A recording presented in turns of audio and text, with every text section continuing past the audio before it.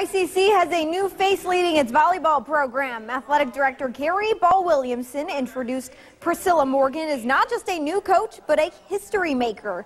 Morgan becomes the first ever women's volleyball coach at ICC after serving as head coach at Texas Wesleyan University and finishing there with a 27 and 7 overall record. Volleyball is a new sport being introduced to ICC athletics. Morgan calls it a special moment to lead this brand new team.